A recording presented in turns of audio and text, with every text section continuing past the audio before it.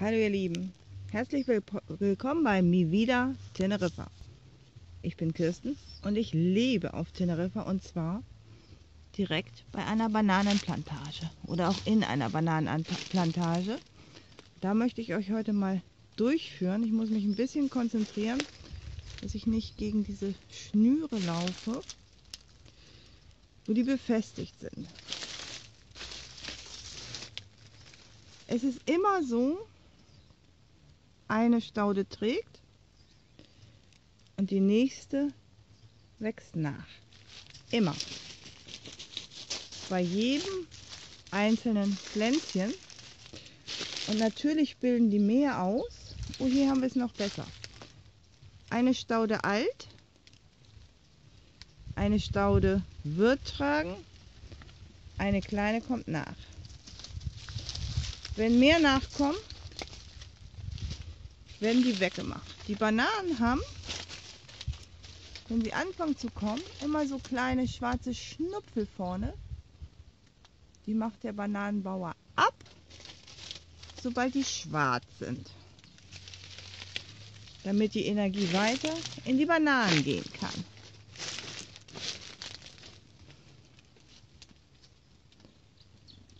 Hier ist schon die Blume abgemacht worden möchte mal, euch jetzt mal zeigen, wie das anfängt. Hier ist eine ab und Bananen tragen nur einmal. Ein einziges Mal schenken die Bananen und dann ist das Bananche durch. Dann kommt die nächste Pflanze. Die Bananen stehen dicht an dicht natürlich, damit ein guter Ertrag ist sind natürlich nicht so ganz natürlich und weil die so schwer sind, ich weiß nicht, ob ihr das erkennen könnt, werden die gesichert hier mit so Striemen, diesen schwarzen Strichen, die ihr seht. Das sind Bänder, um das festzuhalten, zu sichern. Oder auch hier, um die Staude weg vom Stamm zu halten, damit die in Ruhe reifen kann. Komm mal her, mein Schatz. Und wenn die anfangen, die meisten sind jetzt hier allerdings schon so weit, dass sie Bananen tragen. Wenn sie anfangen, dann kommt eine riesige Blüte raus, wo die kleinen Bananen drin sind. Die öffnet sich dann nach und nach. Und dann kommen die Bananen raus. Und hier ist nämlich eine umgekippte. Da seht ihr, wie die Bananen da rauskommen. Und die sehen doch gar nicht aus wie Bananen. Aber ich glaube, die ist nicht mehr so ganz lebendig, aber die Bananen sind noch da. So, Bonnie findet das total cool, was ich hier mache.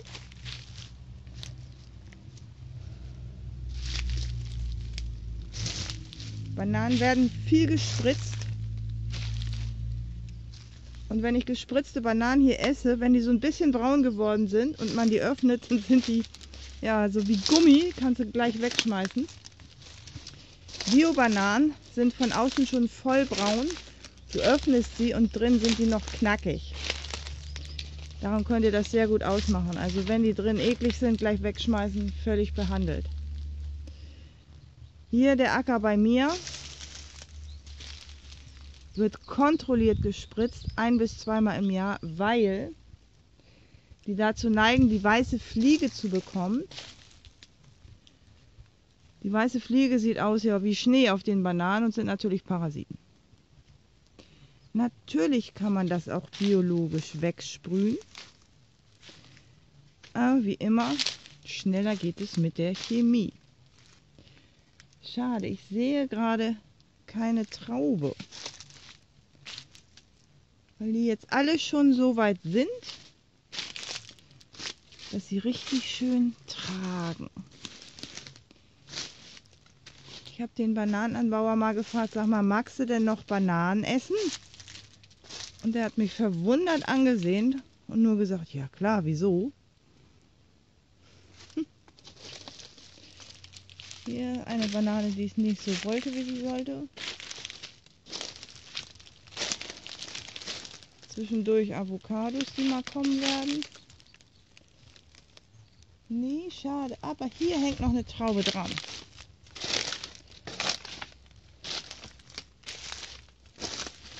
Da könnt ihr das so schön sehen. So, das kommt als erstes raus. Und da sind die Bananen. Und wenn die eine gewisse Größe haben, wird diese Traube abgemacht, also die Blume, damit die Energie komplett in die Bananen gehen kann.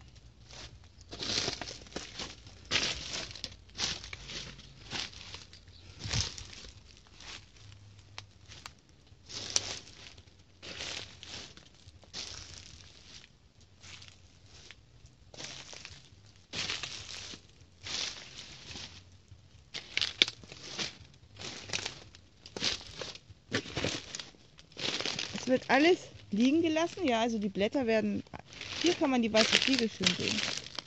Das Weiße da, das ist die weiße Fliege.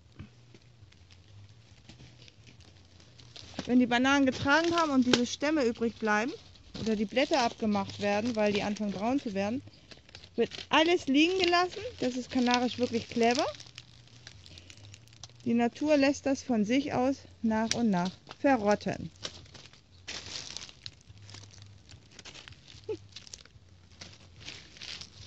So, jetzt muss ich nicht nur auf die Schnüre achten, sondern auch auf die Bonnie. Ganz gerne sind auch, das ist normal, Spinnen im Weg. Da hat mich aber jetzt noch nichts getroffen. Jetzt möchte ich euch das mal zeigen.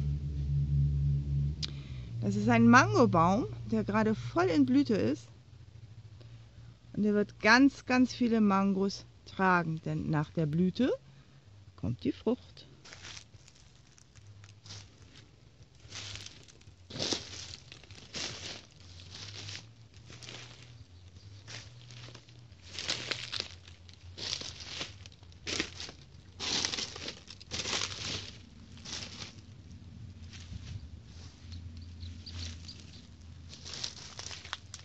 Hauptbananenanbaugebiet auf Teneriffa ist Buena Vista del Norte. Aber es gibt noch weitere Anbaugebiete.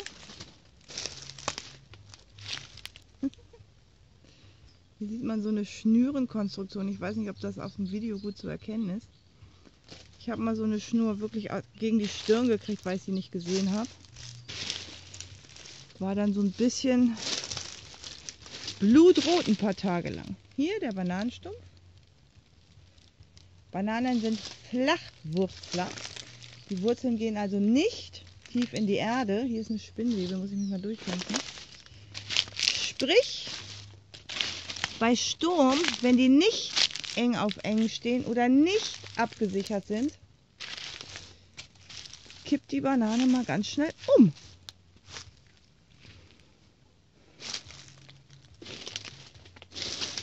Diese Bananenblätter vertrocknen irgendwann. Da sieht man das schön. Ein frisches, mit weißer Fliege drauf und da die vertrockneten. Verrottet also selber und das ist, finde ich, insofern ganz toll, weil das ist schon Arbeit einfach pur mit der Natur. Das Unkraut wird hier in der Regel manuell platt gemacht, also rausgezupft oder mal biologisch vernichtet, weil ich hier Glück habe mit der Plantage und natürlich vorher gefragt habe, wie das denn so gehandhabt wird.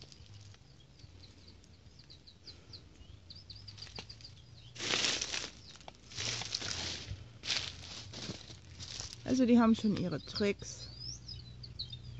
Alles kanarisch relativ einfach, ja. Das ist so eine typische Bananenstange die das hält.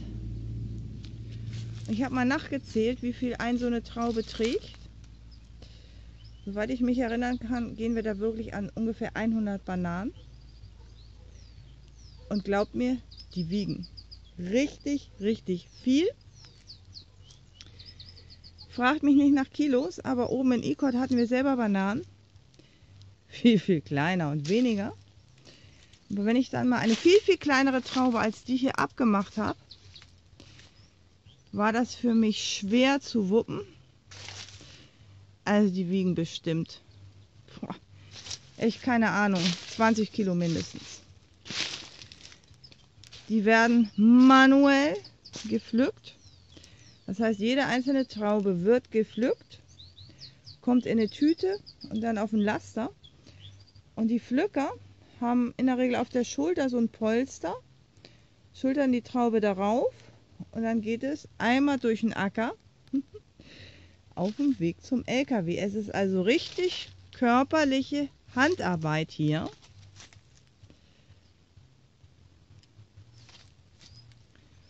Und so gesehen ist es praktisch, weil dadurch brauchen die Kanarios nicht ins Fitnessstudio, wenn sie diesen Beruf haben. So ein Bananenanbauer verdient ein typisches Durchschnittsgehalt. Ich habe mal gehört von, finde ich eigentlich nicht schlecht.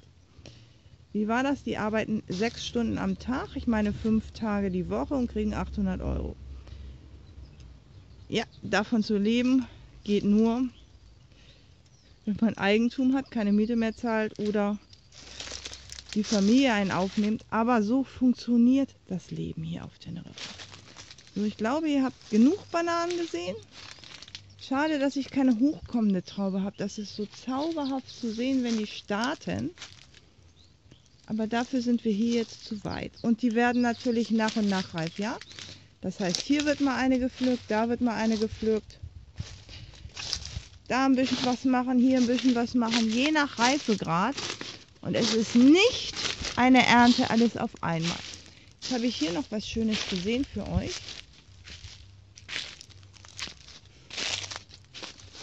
Wo sich so eine Blüte gerade öffnet. Da ist die Blüte. Und da kommen die Banänchen raus, die überhaupt nicht aussehen wie Bananen. Das werden aber noch welche. Ich schwöre. Es ist wunderschön, die Natur arbeiten zu sehen. So, ich hoffe, ihr hattet Spaß. Mal ein absolutes Bananenvideo. Übrigens absolute Sattmacher. Wenn Obst Kalorien hat, dann Bananen. Wie jedes Obst super gesund. Und nebenbei ein super Eiersatz für süße Kuchengerichte und so. Liebe Grüße von Teneriffa, eure Kirsten.